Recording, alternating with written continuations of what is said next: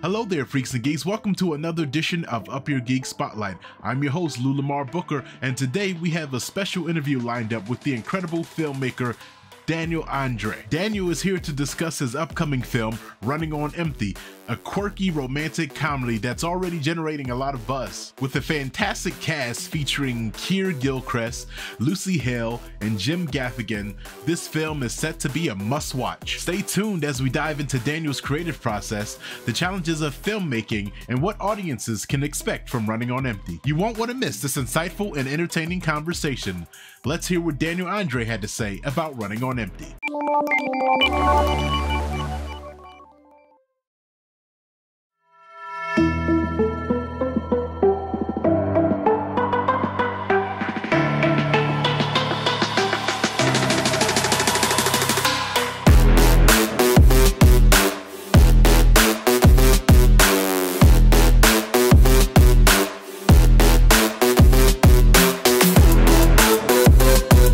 Going, Lou? How are you doing, Daniel? I'm doing very well, thank you. Welcome to Up Your Geek Spotlight. I'm your host, Lou Lamar Booker. Today we have a special guest on. We're going to be speaking with filmmaker Daniel Andre here to talk about his upcoming film, Running on Empty. Uh, Daniel, thank you for joining us today. Uh, how are you feeling as the release date approaches? Well, thanks for having me. Uh, yeah, I'm, I'm feeling great. I feel, you know, it, it's been like every film is is a long, tough uphill battle um but you know it, it, it's it's strange that you know we're finally here and and it's kind of going to go out into the world and i'm excited to to see what people think. Um yeah and i, I hope people enjoy it as much as as we enjoyed making it. Um so what inspired you to write and direct running on empty? Is there a personal story uh, or experience behind it? Yeah it's um it's kind of a combination of of a multitude of things but i've kind of come to, come to discover that you know combined with so a few years before i wrote the film i came across uh, these things called extreme funerals which you can google it and yeah. you can find them and, and they're actually I've a real seen thing them, yeah in, in the film we call it adventure funerals but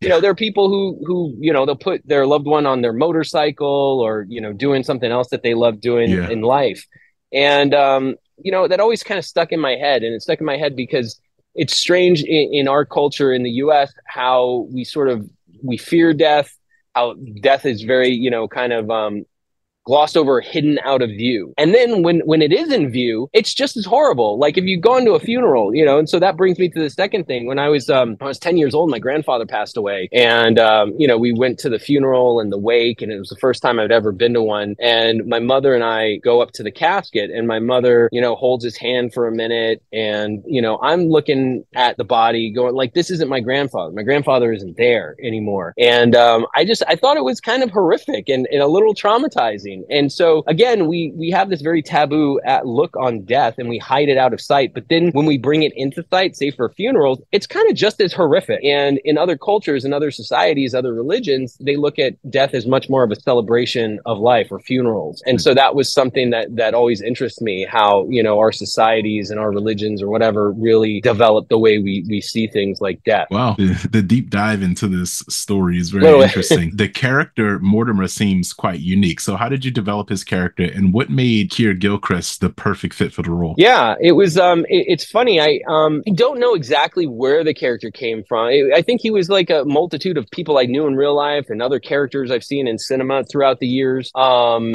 but it was really, you know, playing on this idea of, of what if you have this person who just this is their living and death is completely normal to them. So much so that it's almost unfazed. You know, Keir was in one of my favorite horror films of, of, of the past like twenty years. Um, uh, it follows, and then Oh, I yeah. saw uh, I saw Keir in Atypical, and what was funny, it was just like even though Sam, the character he plays on Atypical, i- is very different from from Mort, it was just like I, I watched it and I was watching Keir, and I was just like, that is Mortimer. Lucky for us, he read the script and he, and he really liked it. Uh, and then you know, again, it's I, as a writer also, I tend to I'm less married to the page as I see a lot of other directors are because for me, it's all about the creative collaboration, and so I want to be surprised. I want the the cast to bring as much of them to the role or their idea of what the role should be. So a lot of the credit really goes to the cast and them just taking what was on the page and elevating it to the next level. He did an amazing job. He really embodied that uh, character there. So with uh, every film has its unique challenges, of course. Uh, so what was the most challenging part of making Running on Empty? Oh wow. Um, well, first of all, mo- mo- making a movie is just one big challenge, and I like to say it's sort of like you know you, you climb a mountain just to realize you're at the bottom of another mountain. Um,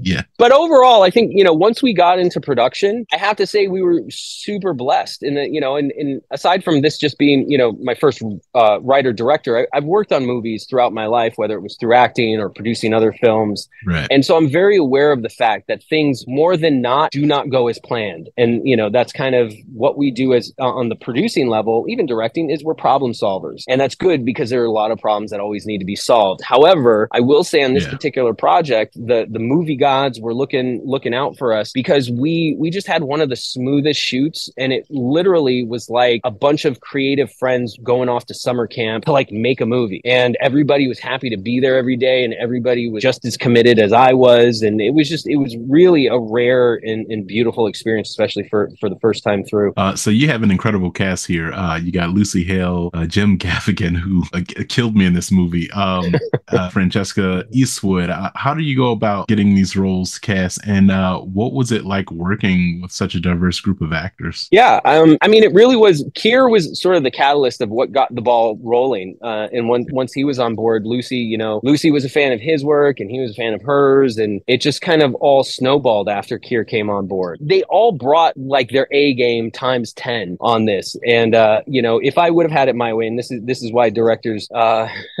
Don't we, why they don't let us just like run free or else you know it could have been a three yeah. hour movie with all of the great material that you know jim gave jay pharoah you know Keir reese reese who's in the film who plays simon. I mean reese is just such an amazing actor that you know aside from giving me everything that was on the page these guys would give me that plus more. And like i said i, I wish i could have included all of it in the film um, but for time, pacing, and everything else, you know, you have to leave yeah. some stuff behind. But but everybody was just truly, truly amazing. Yeah, there was the the, the scene with uh, Jim talking about the froyo was I, I like lost it.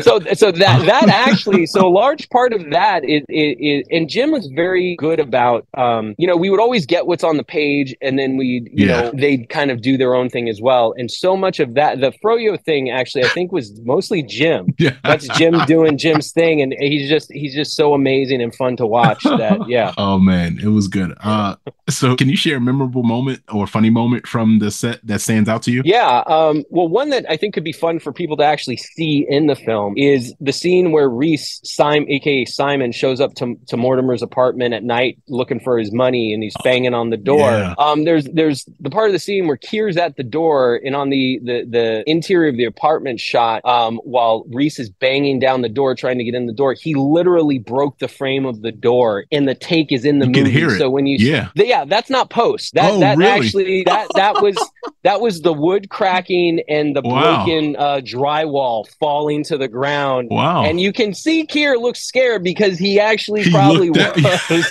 yeah, but we fixed yeah. we fixed it. We fixed their door and everything was just fine after. But um Oh, that's cool. Yeah. yeah. That's and that cool. was actually my first day with with Reese. Normally, I, I mean, you, you might get a little nervous, but at the same time, I was just like, Reese is in it, man. Reese is in it. And uh, I was so for me, it was super exciting when it happened. For I think my producers and everyone else, they might have freaked yeah. out a little. Bit. That bit, was an but... intense scene too, and I knew I was like, there, I was there's some like desperation here, and then you realize after that scene, like what happens. I'm like, oh, okay. That I was like, it seems too like desperate to be really going after this money. And yeah. then I realized what was going on. I'm like, oh, okay. Um, so yeah, so Running on Empty is described as this like quirky romantic comedy about celebrating life. So what do you hope audiences take away from this film? I hope that they see and that they think some of the things that that inspired me to to sort of tackle these subjects and themes, you know, life and death and why we're all here and um, what what would we do if we realize what specifically the finite amount of time we had is. Um, and to also make maybe just stop and take a break. And, you know, it's funny, we're so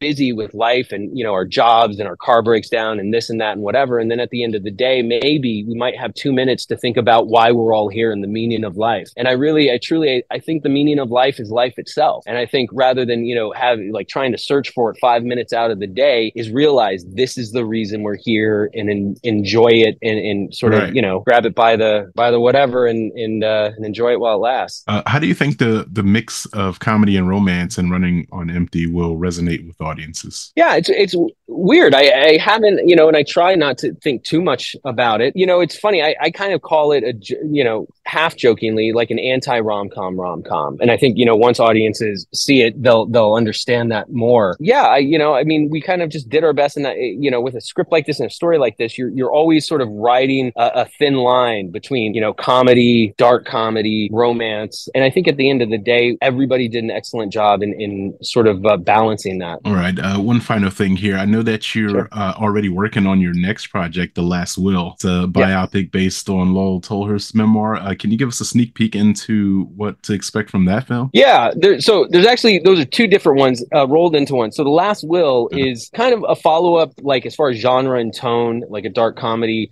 uh, to the Morton Sherman Oaks film. That one is probably most likely the next one in the pipe. Uh, the other one you mentioned with Lol Tolhurst is called Cured, um, and it's based off of Yeah. his memoir called Cured: The Story of Two Imaginary Boys. And for those who don't know, um, Lol Tolhurst is one of the founding members of the band The Cure, Yeah. uh, and uh, I was I've been a fan of them since I was a kid, and uh, I read his memoir and absolutely loved it. And um, we got together, and I uh, turned the book into a script, and uh, we're still we're you know developing it and whatever. But it's it's just a huge passion project of mine, um, and I can't wait for that one to, to get off the ground. Thank you, Daniel, for joining us today. Huge thank you um, for giving us an inside look at Running on Empty uh, and this other upcoming film that you have. Uh, Running on Empty, remember, this movie hits theaters on August 9th, and it will be available on video on demand and digital platforms August 27th. So make sure you go and check it out and stay tuned for the official trailer. Thank you, Daniel. Hello there, freaks and geeks. That wraps up another edition of Up Your Geek Spotlight.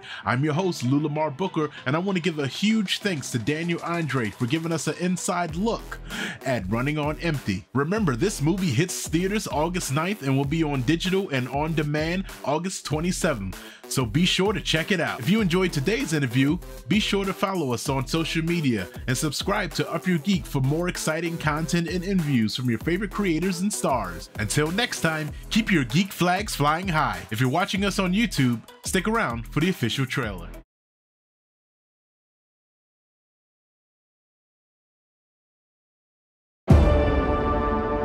All of your tests have been completed to get your death date. Are you ready for your results? Oh my god, I'm gonna die. It's okay. What does it say? 21,490. Nicole, that's almost 60 years from now. What does yours say, babe? 345. Days? That is not ideal. My ex fiance dropped me like a hot potato. Nicole's body was really hot. I'd love to do her, but you know, I wouldn't because of you, unless you could have watched. Some people are into that. Weirdos. Me and the boys heading to the strip club tonight. There's women everywhere. I'm just saying. Do I start dating again? I'm Mortimer. I am a mortician. You know what, Mr. Addison? That is not your shade. Do you wanna film? Romantic. Hey, do you wanna get out of here? I've never had sex with a prostitute before. Professional escort. Sorry, with a professional escort. Rita? You dead? I didn't do anything to her. Well, you still owe me for Rita's services. She said it was free. I ain't handed out free samples. This ain't Trader Joe's. I just joined this dating service that matches you with people based on death dates. I'll be doing your video interview. Lasers. So what kind of gal are you looking for? Kind, honest, a little bit boring, maybe. You're gonna die soon? I'm gonna die soon. Let's go on a date. I'd love to hang out with you again. It's gonna be okay, I promise. It's not like I have much time to build a future with someone. So where's my money, man? Got it? 5,000? Don't make me use it. Go on then. I don't even care. I'm gonna die anyway. You better have my money in full by midnight tomorrow. Or he's going to hurt me. Ah!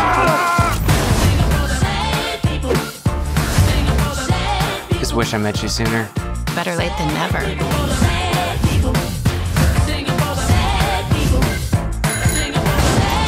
I've just been so angry, afraid, happy, all at the same time.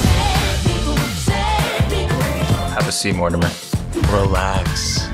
When you and Nicole were dating, did you guys ever try pegging? Pegging? What is that? Pegging's when a girl puts on a dildo and base.